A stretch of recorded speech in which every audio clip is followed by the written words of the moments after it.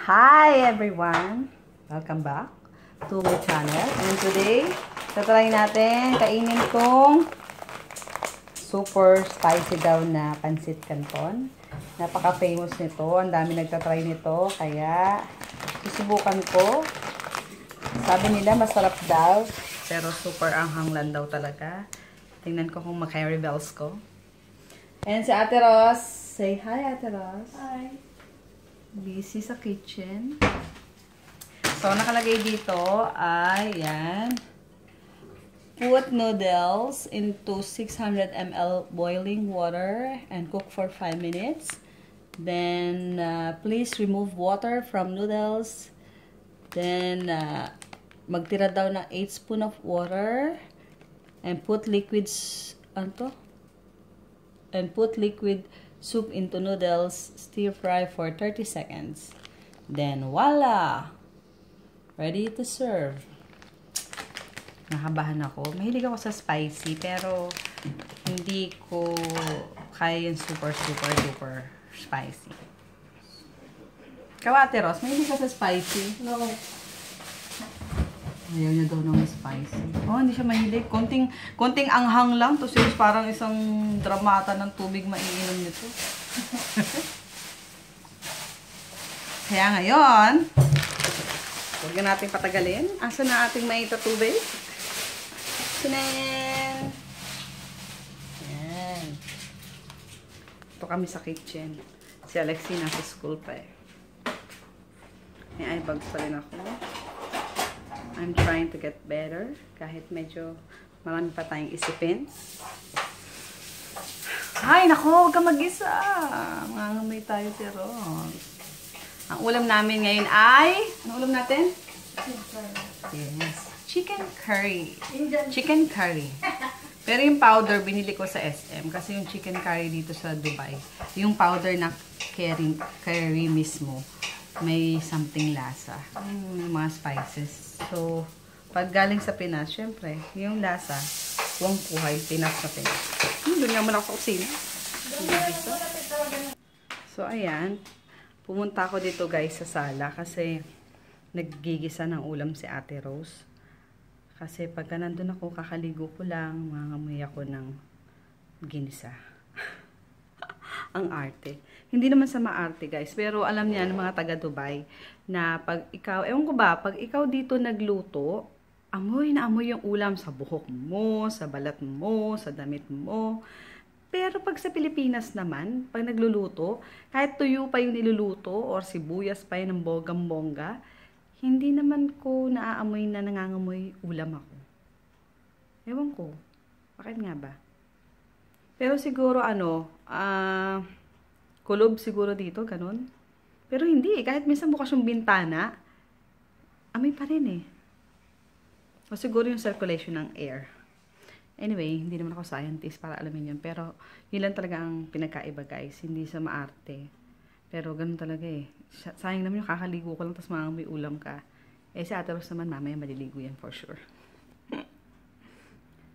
At yun din pala guys, uh, while hinihintay ko yung aking pansit canton na niluluto ni Ate Rose, gusto kong magpasalamat dun sa mga uh, uh, nakidalamhati or nag-send ng mga condolences nila para sa akin, sa family ko. Maraming salamat sa inyo. Sa mga newfound friends ko dito sa YouTube, maraming salamat sa inyo. Hindi ko na kayo iisa-isahin. Maraming salamat. Appreciate yun ng family ko at lalo na ako. Yung mga kasama ko sa trabaho, yung mga kaibigan ko, kapitbahay, kakilala, maraming salamat. Uh, malungkot pa rin natanggapin na wala na yung lola ko, si nanay. Pero, uh, by, the, by the grace of God, alam ko, kaya ko. Pero, yun, hindi pa rin maiwasan na malungkot. Pero, syempre, kailangan hindi naman huminto yung ating buhay dahil sa gano'n kasi kahit buhay yung lola ko, hindi niya gugustuhin na lagi kami malungkot. Kaya, ayan nga, o, oh, nilagay ko siya dito sa sala, yung picture. Ayan, o. Oh, ayan. Para lagi ko siya naalala. Kasi, lagi lang siya nandun sa cellphone ko. Saka, minsan sa video, video call. Nung buhay pa siya, tinatawagan ko siya. Eh, ngayon wala na. Kaya dyan ko na lang siya titignan. Ate Ros, ang tagal naman ng pansit canton ko. Gutom na ako. Sorry naman, pero mabait naman yan si Ate Ros. Saka mabait din naman ako dyan kay Ate Ros. Diba, Ate Ros? Nalambing lang ako. Yes! Ang Bilis, oh. Diyan na, akin na. Hindi, ilan. Lubos-lubosin mo na. Lagay mo na lahat. Eh, amoy ulam. Nakaligo ko lang eh. Fresh ako. Mamaya, dyan na si, si Sir Matusalan. Bongga. Hintay tayo. Tagal-tagal pa. Siguro mga 3 minutes pa. Yay! Eto na yung pancit canton. Yan. Ang sarap. Malalaki yung, ah, napansin ko sa kanya, malalaki yung ano niya, noodles niya. Yan. So, lalagay ko na muna tong seasoning.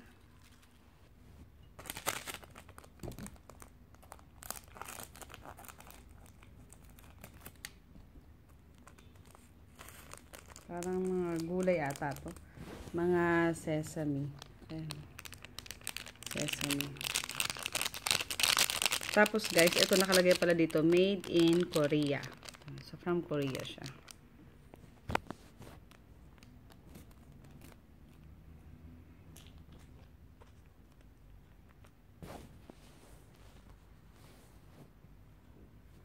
Then, ilagay na natin tong sauce. Sorry naman, nalaglag yung ano, camera.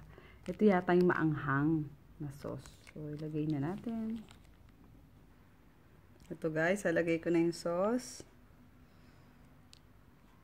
Mm. Kaya siguro maanghang to kasi super super thick no sauce niya, oh. Ay, good luck sa akin. Yung amoy niya, guys, parang normal lang na amoy ng pancit canton. Mga pancit canton na regular natin, ganun lang yung amoy niya. Pero hindi ko alam. Mukhang naaamoy ko na yung, alam niyo yung anghang, naaamoy ko siya. Yung sili, parang amoy ng sili. Ayan, haluin lang natin. Wow! Grabe guys, so kulay pa lang, pulang-pula na. Super. As yung sili na aamoy ko na. Pero mukha siyang aamoy masarap siya. So, ayan, mag first bite ako. Teka, wala pa akong tubig. Pero, tingnan natin. Ooh! Ang anghang! Amoy.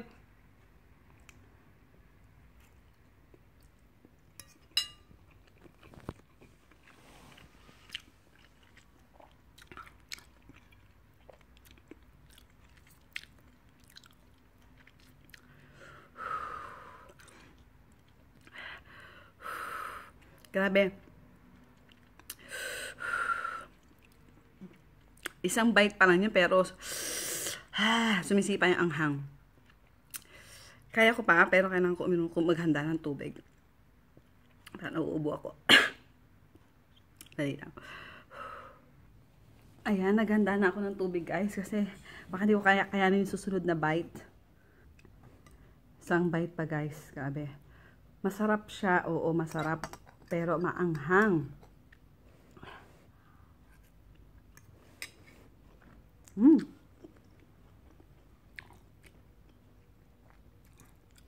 Oh. Ayan, tubig. Parang hindi ko na siya kayang ubusin.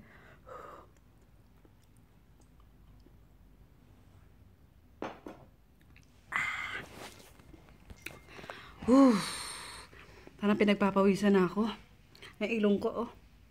Ang pawis. Grabe yan.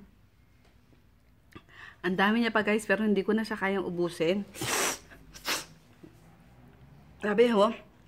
Namumula na yung mukha ko sa anghang. Tapos, uh, hindi lang ako parang tinutusok-tusok na sa anghang. Super anghang niya guys, pero masarap siya. Oo, pero maanghang. Nakakadalawang baso na akong tubig. Laki na tong tubig ko. Pangatlo ko na to. Dalawang subo. Ah, tatlong subo pa lang yun. Huh, grabe ang hang. So, kayo, kung gusto nyo itry, kung mahilig kayo sa anghang, okay lang. Ang sa akin kasi, Pag iniinom ko siya, nawawala yung anghang, pero andun pa rin siya sa dila. Tulad ngayon. Parang alam mo, tinutusok-tusok yung dila ko sa anghang, tapos ang init sa pakiramdam.